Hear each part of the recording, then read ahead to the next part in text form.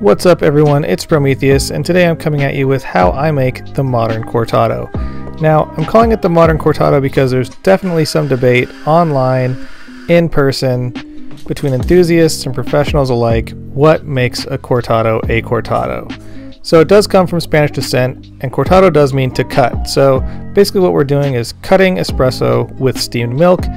It's often served at a one-to-one ratio, so basically two ounces of steamed milk, two ounces of espresso. There's some wiggle room here, give or take, but oftentimes the drink is about four to four and a half ounces. You can also find them called Gibraltars. That's also the name of the glass that it was placed in previously.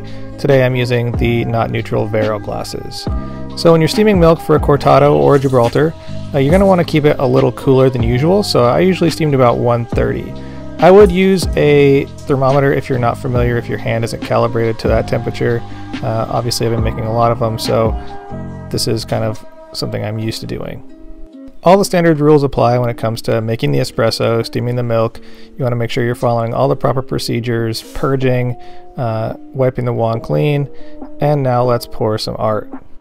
Obviously you're going to have less room, so you want to do a smaller base, and you're going to want to get your art done relatively quickly, pouring at a little bit slower rate.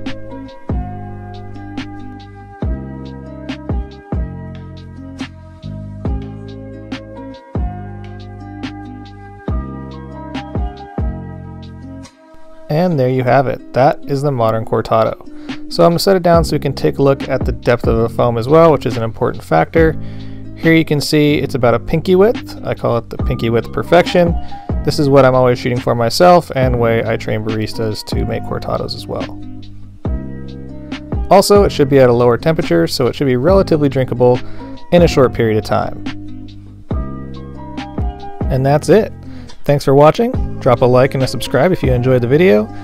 Remember to follow me at Sprometheus on Instagram, the blog at sprometheus.com, and as always, stay caffeinated, Pony Boy.